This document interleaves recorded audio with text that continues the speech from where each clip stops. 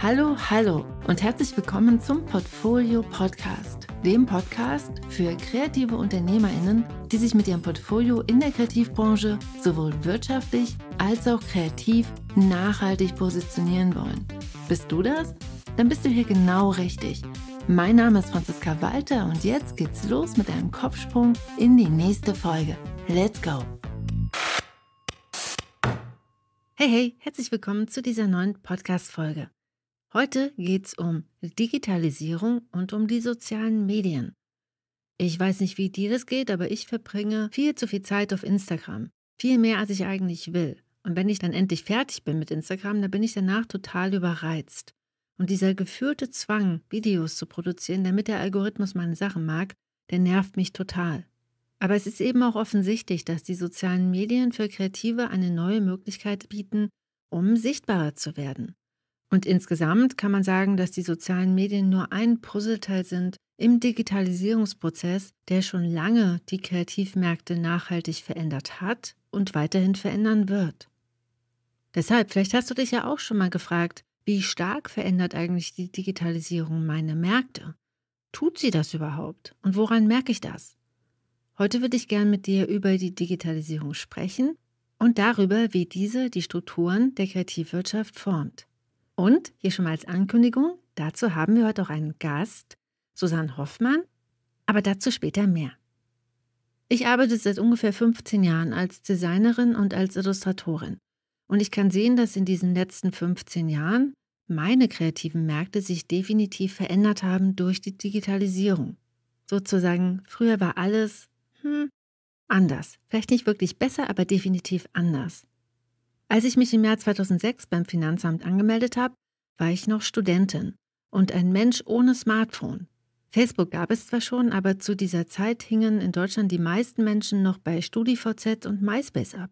Instagram trat erst vier Jahre später auf die Bühne. Damals hatte Adobe gerade das CS vor die Versionsnummer gestellt, was aufregend klang und wie die Zukunft. Anstelle mit InDesign 2.0, die übrigens die erste Version für den Mac war, arbeitete ich im Jahr 2006 schon mit InDesign CS2. Hurra!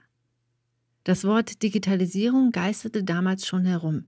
Ich kannte es vor allem aus meinem Architekturstudium, in dem ich zu Beginn noch auf Transparentpapier und mit Rapidographen gezeichnet hatte, um am Ende des Studiums alles digital in CAD, also in Computer-Aided Design Programm, zu zeichnen. Als ich zum ersten Mal mit professionellen Ambitionen auf die Buchmesse fuhr, so ganz genau weiß ich das gar nicht mehr, wann das war, wahrscheinlich im Jahr 2005 oder 2006. Da waren die Verlage noch zuversichtlich und gut gelaunt. Denn im Jahr 2006 wurden in Deutschland über 80.000 neue Bücher publiziert und das war wieder einmal eine Rekordzahl. Und wie ist es heute? Heute hat sich viel verändert. Die Buchzahlen sinken. Die Verlage sind deutlich weniger gut gelaunt. MySpace ist in der Bedeutungslosigkeit verschwunden Dafür sind heute alle auf Instagram, TikTok und YouTube. Statische Bilder sind angeblich out, Bewegtbild soll die Zukunft sein. Und es zeigt sich, dass einige Kreative in den letzten Jahren auch zu sogenannten Social Content Creators geworden sind, also zu Personen, die Inhalte für die sozialen Netzwerke produzieren und dort posten. Vielleicht haben Sie zu Beginn angefangen, Bilder und Animationen einfach nur aus Freude am Machen zu erstellen und zu posten.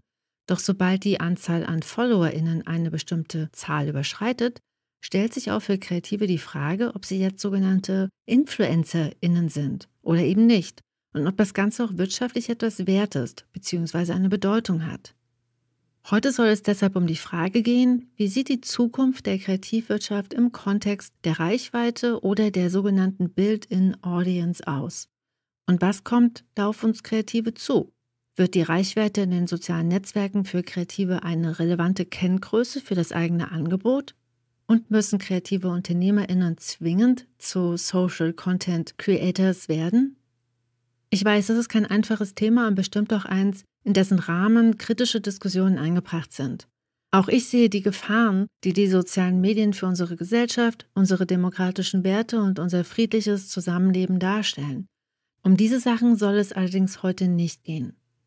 Mit diesem Podcast möchte ich vor allem aufzeigen, welche Möglichkeiten sich mit der Reichweite in den sozialen Netzwerken für dich als kreative Unternehmerin ergeben, damit du eine selbstbestimmte Entscheidung für dich treffen kannst und du mit mehr Bewusstsein den Wert, den deine eigenen Social-Media-Posts erzeugen, wahrnimmst.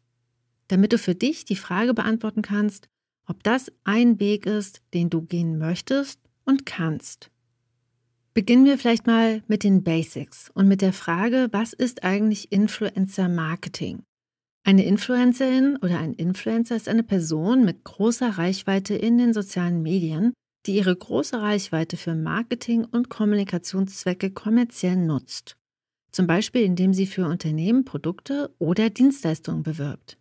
Dabei wird es heute schon für sogenannte Mikroinfluencer mit einer Reichweite im vier- und unteren fünfstelligen Bereich interessant, sich hier kommerziell aufzustellen.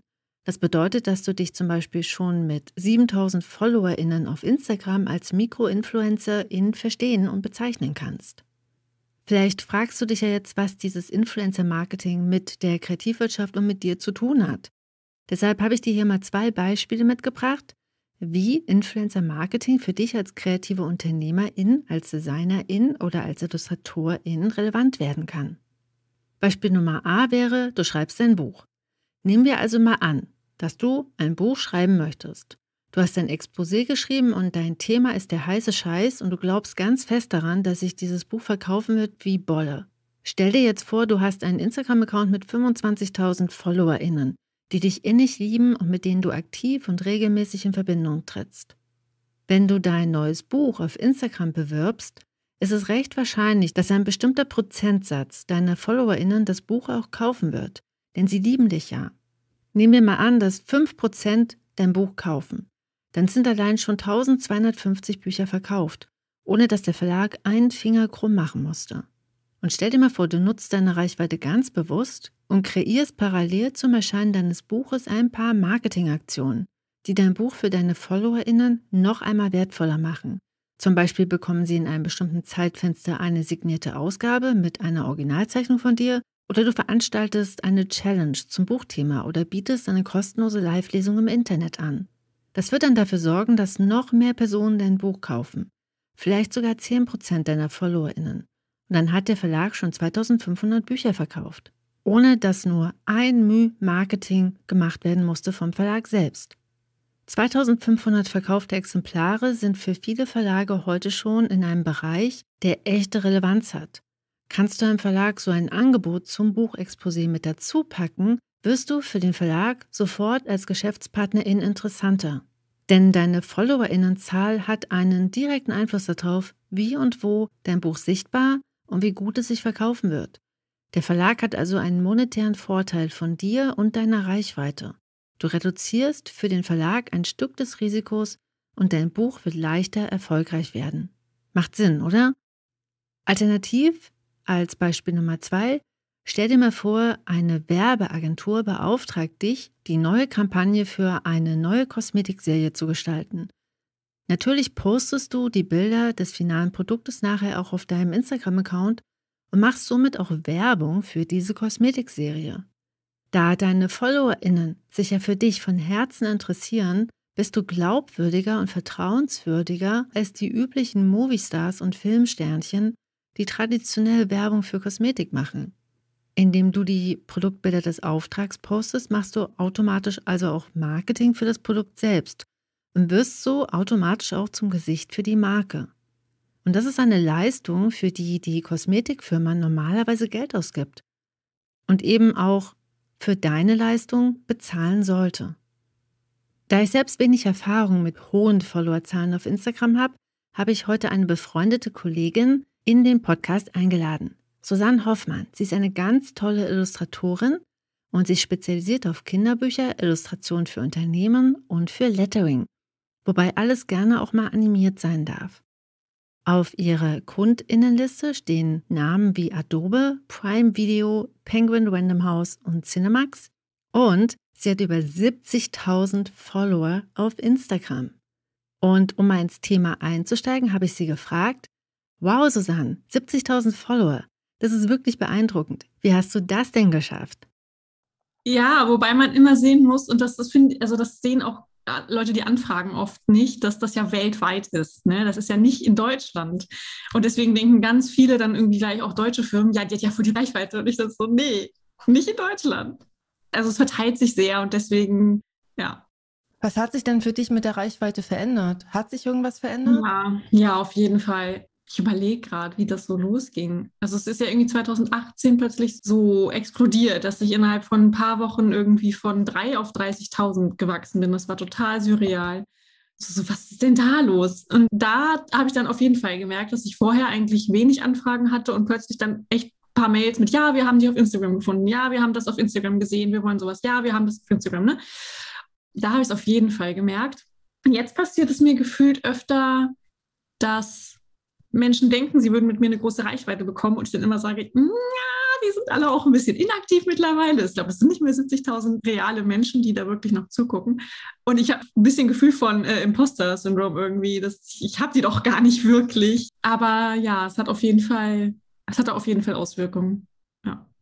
Was ist sozusagen durch die Reichweite entstanden? Mehr Anfragen. Also einmal so komische, weirde Kooperations-Influencer-Sachen, da sage ich dann, es ist nicht so viel, aber da sage ich auch immer, nee, nee, mache ich nicht, außer es passt irgendwie mega gut. Und ähm, ja, generell auch für Projekte anfragen, genau, die dann gesagt haben, ja, wir haben den Stil halt auf Instagram entdeckt. Verstehst du dich als Influencer? Nee, Nee, wirklich nicht. Also, weil Influencer ist für mich immer noch jemand, der irgendwie viel so Produktkooperationen macht und ja auch Werbung und das sehe ich jetzt beides nicht so. Also, ich finde, es gibt ja auch eine schöne Definition von Influencer einfach Leute, ne, die irgendwie eine Inspiration sind oder so. Oder auch diese Sinnfluencer, das finde ich auch schön.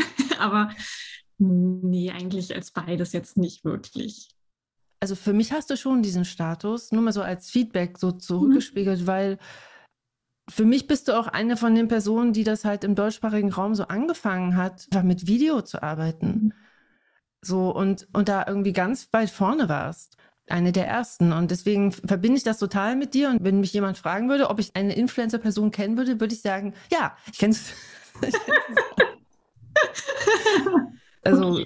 Influencer ist ja auch manchmal so ein bisschen negativ konnotiert, aber ich meine das in einem ganz positiven Sinn. Ja. Ach, das ist aber schön. Ja, das stimmt. Das ist auch irgendwie total witzig, dass ich mittlerweile irgendwie nicht mehr so viele von diesen Videos mache oder ewig gar nicht mehr, weil irgendwann hat es mich voll unter Druck gesetzt. Das ist ganz merkwürdig. Also hat ja mit so Skizzenbuch-Videos ähm, angefangen und irgendwann hatte ich das dann, oh Gott, die Seiten sehen zu gut aus. Das kann dann nicht, das passt dann nicht ins Buch. Und das ist so krank, weil ich ja eigentlich mich dabei filme beim Zeichnen und dann ja auch mir sage, ja, ich muss es ja, ich muss ja niemandem zeigen am Ende. Ich muss das Video ja nicht posten, ich verpflichte mich ja nicht. Aber es ist halt irgendwie echt, ich brauche ganz dringend wieder ein, ein hässliches Skizzenbuch, das hässlich sein darf. Das ist nicht, nicht, war nicht gut. Aber das ist interessant, das heißt, angefangen hast du aus Freude und dann ist das so ganz, ist es irgendwann gekippt. Ja, irgendwann wurde es schon so ein bisschen was von, ah ja, du musst mal wieder ein neues Video filmen. Das war ganz, ganz merkwürdig. Und dann, dann hat es irgendwie damit geendet, dass ich es jetzt gar nicht mehr mache. Aber die Freude war schon immer noch da oder die kam dann auch jedes Mal wieder. Also, dass ich zwar vorher dachte, oh, ich muss mal wieder was machen, aber in 90 Prozent der Fälle dachte ich danach, boah, das Spaß gemacht, voll gut. Aber trotzdem, davor war es oft so ein, ich müsste mal wieder, ja. Hast du auch so kritische Aspekte, die, die dich daran hindern, das weiterzumachen? Oder so Bedenken oder Beobachtungen, die du kritisch beobachtest in den sozialen Medien? Naja, generell finde ich den Trend zum Video eigentlich ein bisschen anstrengend, weil sich alles bewegt. Und ich habe ja auch immer bei mir Wert darauf gelegt, dass ich meistens eigentlich immer zum zum Wischen noch ein stillstehendes Bild hatte, dass man das einfach, dass man die Quintessenz auch nochmal sehen konnte in Stillstehen. Und das war mir auch wichtig, weil, also ich habe, glaube ab und zu mal irgendwie für den Algorithmus nur ein Video gehabt, aber meistens noch das zum Angucken. Und im Moment ist es halt echt, ich scrolle und scrolle und dauernd bewegt sich was und dauernd tanzt jemand und ich kann es nicht anhalten. Ich, das ist so anstrengend und das finde ich eigentlich schwierig. Mir ist so ein bisschen der Spaß an Instagram generell dadurch abhanden gekommen und auch dadurch, dass man echt seine, seine Follower oder auch neue Leute gar nicht mehr erreicht. Das ist schon alles ein bisschen frustrierend. Ich meine, es kommt nicht nur drauf an, aber wenn du was postest und es sehen so drei Leute, dann ist halt, ja, ich will nicht sagen, dann kann man es auch lassen, aber es ist halt schon schade. Früher war das halt irgendwie netter, dann hat man, ist man viel mehr in Austausch gekommen mit Menschen. Gleichzeitig habe ich auch gerade irgendwie so ein, so ein Überdruss. Also ich habe so, ich gucke durch Instagram und denke so, boah, es nervt mich so, dass alles so ähnlich aussieht. Und ich war, ich war letztens eine Woche in Barcelona und es war irgendwie so, so mal neu inspirierend, weil ich in so einem kleinen Laden, die irgendwie so Prints verkauft haben von IllustratorInnen und habe da halt einen Prints gesehen von Leuten, die ich noch nie gehört habe. Und das war so schön. Das, war so, das sieht alles anders aus. Das ist toll. Und äh, habe ich echt gemerkt, was für ein Einheitsbrei das teilweise geworden ist. Weil es ja auch klar, wir sind alle das gleiche ausgespielt. Das beeinflusst uns wiederum. Wir machen es vielleicht, also nicht, ich sage nicht, wir kopieren es, aber es beeinflusst uns auf jeden Fall. Und ja, es entwickelt sich alles in so eine ähnliche Richtung. Und das stört mich auch ein bisschen. Danke, Susanne. Nachher geht's weiter mit dem Interview. Lass uns jetzt aber mal einen Blick auf die Frage werfen, warum Influencer Marketing in der Zukunft mehr werden wird. Auch wenn Susanne ihre Reichweite ja relativiert, hat diese definitiv Einfluss auf ihre Auftragszahlen. Und das wird in der Zukunft mehr werden. Nun könntest du sagen, hm, ja, weiß ich nicht, sind das nicht alles Ausnahmefälle? Ist das wirklich etwas, was auch für mich und für mein Unternehmen jemals relevant sein wird? Ich möchte dir hier zwei Gründe nennen, warum in den kommenden Jahren Influencer-Marketing mehr werden wird. Grund Nummer eins ist, Tracking wird immer schwieriger. Erst einmal dazu ein ganz großes Hurra. Das Ausspionieren und seitenübergreifende Tracken von InternetnutzerInnen wird immer schwieriger und das ist eine ziemlich gute Sache. Mit der DSGVO wurde schon im Jahr 2019 die Tür aufgemacht für mehr Datenschutz innerhalb der EU. Seitdem ist viel passiert WebseitenbetreiberInnen müssen zumindest innerhalb der EU ihren Gästen ermöglichen, das Tracking zu deaktivieren. Und mit dem iOS-Update 14.5 haben iPhone- und iPad-NutzerInnen seit 2021 die Möglichkeit, das Tracking komplett zu blocken. Das bedeutet, dass Apps, die Verhalten überwachen und diese Daten an Dritte weitergeben, das einfach nicht mehr tun können. Auch viele Internetbrowser haben es sich zur Aufgabe gemacht, das seitenübergreifende Tracking das zum Beispiel durch den auf ganz vielen Webseiten eingebauten Facebook Pixel möglich ist, zu blockieren. Mit diesen neuen Möglichkeiten, den Schutz der eigenen Privatsphäre zu erhöhen, wird es für Unternehmen wie Facebook und Google immer schwerer, Werbung zu schalten, die individuell auf deine Interessen abgestimmt ist. Und das bedeutet für Unternehmen, dass für ihr Marketing weniger und unpräzisere Daten zur Verfügung stehen und dass ihre auf Facebook und Co geschaltete Werbung deshalb teurer wird. Aus genau diesem Grund werden InfluencerInnen und Kreative mit großen Reichweiten in Zukunft für große Marken und deren Marketingstrategien interessanter, denn sie bringen eine eingebaute, präzise definierbare Zielgruppe mit, die auch ohne Tracking in ihren Interessengebieten ganz klar beschreibbar ist. DesignerInnen und Illustrierende mit großen Reichweiten in den sozialen Netzwerken haben sich ihre Followerschaft ja über Jahre und ganz organisch aufgebaut. Die Menschen die diesen Kreativen folgen, machen das, weil sie ein Interesse an der kreativen Person und an deren Arbeit haben. Auf diese Weise haben diese Kreativen eine große Glaubwürdigkeit und auch einen Einfluss in dieser klar definierten Nische. Und das macht sie für Unternehmen zu interessanten Partnerinnen für Produktwerbung. Und dann gibt es noch Grund Nummer zwei. Die sogenannte Built-in Audience ist die eingebaute Verkaufsgarantie für Unternehmen. Das Buchbeispiel hat es ja eben schon visualisiert. Hat eine kreative Person eine hohe Reichweite, werden die Produkte, also zum Beispiel die Bücher, die diese Person illustriert, automatisch vor diesem Publikum sichtbar. Die Wahrscheinlichkeit, dass ein Teil dieser FollowerInnen das Produkt auch kauft, ist einfach mal recht groß. Dementsprechend verringert die große Reichweite der kreativen Person das wirtschaftliche Risiko des Verlages und gleichzeitig auch die Marketingkosten. Denn die Social-Media-Profile der Verlage zeigen oftmals deutlich niedrigere Zahlen als die der Bildautorinnen und Illustrierenden. Die Verlage müssten also viel Geld in die Hand nehmen, um auf traditionellen Marketingkanälen oder in den sozialen Medien Sichtbarkeit für ihr Produkt zu erzeugen und bringt die kreative Person diese Built-in-Audience einfach mal schon mit, spart das Kosten und erhöht die Erfolgschancen für das Produkt. Aber was bedeutet das denn jetzt eigentlich für Kreative mit hohen Reichweiten? Wichtig ist, die eigene Leistung zu erkennen und sie sich bezahlen zu lassen. Hast du eine hohe Reichweite in den sozialen Netzwerken, dann solltest du das in deine Kalkulation mit einfließen lassen. Denn du übernimmst für dein Gegenüber Aufgaben, für die der Verlag oder die Agentur traditionell eh Geld ausgegeben hätte und von denen sie profitieren. Und vielleicht fragst du dich jetzt, wie berechnet man denn Reichweite? Wie kalkuliert man das mit ein? Und was ist hier überhaupt üblich? Hier gibt es noch keine wirklich festen Regeln. Neue Märkte und neue Entwicklungen erfordern ja oftmals das Verhandeln von neuen Rahmenbedingungen. Ich kann mich noch gut erinnern, als ich damals das erste Mal einen Paragraphen zur E-Book-Beteiligung im Vertrag gefunden habe. Damals gab es einfach noch keine Referenzwerte für E-Books, auch wenn von Seiten der Verlage oft so getan wurde.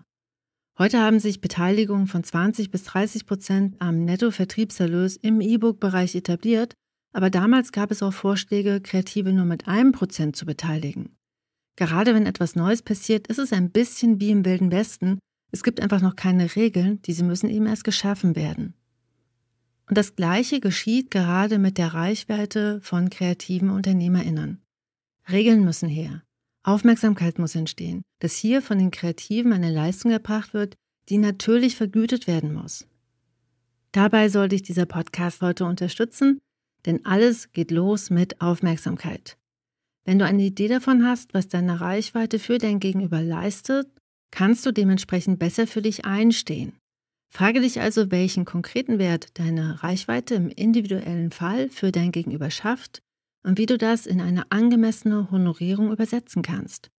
Und wenn du dir hier unsicher bist, frag KollegInnen und oder frag bei den Berufsverbänden nach. Denn die beschäftigen sich auch mit diesen Fragen. Vielleicht fragst du dich ja jetzt auch, was ist, wenn du noch keine Tausende von FollowerInnen in den sozialen Netzwerken hast. Keine Sorge. Auch ohne Reichweite ist es heute noch möglich, in der Kreativwirtschaft als kreative Unternehmerin erfolgreich zu sein. Die Reichweite bzw. der Influencer-Status sind einfach noch nicht die einzige Währung, die etwas wert ist. Mit einem passgenauen und klaren Angebot kannst du dich auch ohne die sozialen Medien auf deinen Märkten etablieren. Ohne Reichweite in den sozialen Medien wird es allerdings noch wichtiger, proaktiv auf genau die Kundinnen zuzugehen, die dein kreatives Angebot auch wirklich brauchen. Es wird also noch wichtiger, ganz genau zu wissen, wer von deinem Angebot profitiert und wie du diese Menschen erreichst, auch ohne Instagram, TikTok und Co. Eine suchmaschinenoptimierte Portfolio-Webseite und ein regionales Netzwerk aus echten Menschen sind hier sehr gute Tools und gute Startpunkte. Hier noch mal eine kleine Randnotiz. Um hier mehr Klarheit zu bekommen, kannst du dir auch sehr gern mein freies Workbook Dein kreatives Angebot herunterladen, das dir genau dabei hilft, dein Angebot klar zu formulieren und herauszufinden, wer das auch wirklich braucht. Den Link dazu findest du in den Show Notes. Und ich habe auch nochmal Susanne gefragt, welche Plattformen sie heute für die Akquise in der Kreativwirtschaft empfehlen würde. Und das hat sie gesagt. Welche Plattform würdest du empfehlen, um Aufträge zu generieren? Oh, hm, ja, bei mir war es halt Instagram, aber ich weiß nicht, ob ich es heute noch empfehlen würde, weil es heute so schwer ist, gesehen zu werden. Ich habe von vielen gehört, dass sie über Behance gefunden wurden. Also Behance vielleicht am ehesten oder zumindest, wenn man wirklich in der kreativen Ecke bleibt. Ja, ja vielleicht irgendwie immer noch Instagram, wenn man es schafft und Behance. Und ja, mit TikTok ist, ich frage ich frag's mich gerade, ob man da wohl, aber da habe ich halt gar keine Erfahrungswerte, aber ich frage mich, ob man da Aufträge generiert. Bei TikTok kann ich mir das einfach nicht vorstellen. Ich bin ja eh so Verlagsbranche, das ist ja eh so die so verstaubteste Branche der Welt. Ja. Ich kann mir nicht vorstellen, dass die ganzen LektorInnen da auf TikTok abhängen. Das fällt mir sehr schwer. Fällt mir auch schwer. Äh, wahrscheinlich nicht. Aber vielleicht so junge Lektorinnen, die dann vielleicht so privat da durchscrollen und dann denken, uh, das sieht ja cool aus, das merke ich mir mal. Aber das muss dann, also das ist dann schon echt. Dafür würde ich mich dann nicht, würde ich mir dann nicht die Mühe machen. Da muss man dann schon echt Spaß dran haben. Und das gilt für mich bei Instagram auch. Also wenn man das nur als Akquise-Tool sieht, weil man es haben muss, dann weiß ich nicht, ob das so gut funktioniert, weil ich glaube, man muss schon auch echt diesen, diesen Nutzungsspaß haben. Also ich hatte mir das damals echt Spaß gemacht, selber zu gucken, selber bei Leuten zu kommentieren. Also gar nicht mit diesem, oh, guck dir mal meine Sachen an, sondern einfach in, in den Austausch kommen und dadurch hat sich das ein bisschen organisch angefühlt und als wären da halt echte Menschen und man schmeißt es nicht nur so raus über TikTok und dann, also ich kann gar nichts über TikTok sagen, ich will mir gar kein Urteil erlauben. Es ist wahrscheinlich, vielleicht ist es genauso, man kann da ja auch kommentieren und so, aber. Danke, Susanne, für diese Einschätzung. Behance, Instagram und gegebenenfalls TikTok. Auf welchen Plattformen bist du denn unterwegs? Und dann lass uns noch mal schauen, was du tun kannst, wenn du dich entscheidest, wirklich auf Reichweite zu setzen als kreative Unternehmerin.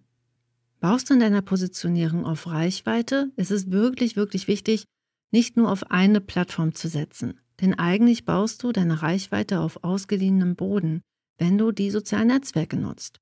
Ändert Instagram den Algorithmus oder YouTube die Bedingungen, kann deine Reichweite von einem Tag auf den anderen zerplatzen wie eine Seifenblase. Deshalb ist es wirklich sinnvoll, auf mehreren Beinen zu stehen und bestenfalls auch parallel Kanäle aufzubauen, die dir gehören. Sammelst du deinen Content zum Beispiel auf deinem Blog, kannst du deine LeserInnen auch dorthin leiten. Das macht dich unabhängiger von Plattformen. Auch ein Newsletter, ein Podcast oder ein eigener Shop sind Wege, dich unabhängiger zu machen. Denn wer weiß, ob es Instagram in fünf Jahren überhaupt noch gibt und wie es dann dort aussehen wird. Deshalb habe ich Susanne auch nochmal gefragt, ob sie glaubt, dass Instagram in fünf Jahren noch relevant sein wird. Glaubst du, dass Instagram in fünf Jahren noch relevant sein wird? Ich würde mich mal aus dem Fenster lehnen und sagen, nein. Aber mal gucken. Also durch ihr, ihr ewiges Plattform kopieren. Also wir wollen sein wie YouTube, wir wollen sein wie Snapchat, wir wollen sein wie TikTok. Das ist so nervig. Es macht doch einfach euer Ding. Also, ja. Wie gehst du mit dem Gedanken um, dass es ja schon auch sein kann, dass irgendwie jetzt alle auf einmal zu TikTok überspringen und dann hast du deine 70.000 Follower auf, also ich, ich frage mich manchmal, was die Leute gemacht haben, die 100.000 Follower auf MySpace hatten. Mm, ja, ja, ich habe auch, ich habe auch letztens, also ich habe manchmal so Anfälle von, ich lösche meinen Instagram-Account und mache einen neuen, weil die sind ja alles tote Follower. Aber das ist, also das traue ich mich dann doch nicht. Ja, das, die Vorstellung, genau, die Vorstellung wieder bei Null anzufangen, ist auf jeden Fall wäre interessant dann zu sehen, was das mit den, also mit Aufträgen und so macht, ob es wirklich richtig doll zu merken ist. Ganz lieben Dank, liebe Susanne, dass du von deinen Erfahrungen hier berichtet hast und dass du auch ehrlich teilst, was schwierig ist und was noch schwer einschätzbar ist. Wir werden sehen, was die Zukunft bringt. Ich danke dir auf jeden Fall sehr, dass du Gast warst heute im Podcast. Und wie geht's dir jetzt damit? Vielleicht hast du jetzt noch die Frage, geht's nicht auch komplett ohne Social Media?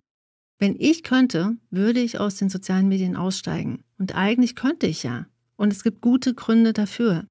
Ich weiß, dass Instagram mir nicht gut tut, dass ich dort viel zu viel wertvolle Lebenszeit verbringe und mich danach ausgelaugt und leer fühle. Trotzdem fällt es mir schwer, meine Instagram-Accounts zu deaktivieren. Die Angst, nicht mehr dazuzugehören, ist einfach größer. Doch das Problem mit den sozialen Netzwerken geht noch viel weiter. Wenn du tiefer in das Thema einsteigen möchtest, möchte ich dir die Dokumentation The Social Dilemma und das Buch 10 Arguments for Deleting Your Social Media Accounts Right Now von Jaron Lanier empfehlen. So, und wie geht's dir jetzt damit? Was nimmst du heute für dich mit? Und was kannst du tun, um auch in Zukunft noch up-to-date zu sein? Und beängstigt dich das auch? Oder schaust du ganz optimistisch in die Zukunft? Teile deine Erfahrungen sehr gern unter dem Podcast oder direkt unter dem Blogartikel oder auf Instagram. Und damit wünsche ich dir alles Liebe. Wir hören uns nächste Woche. Bis dahin. Tschüss.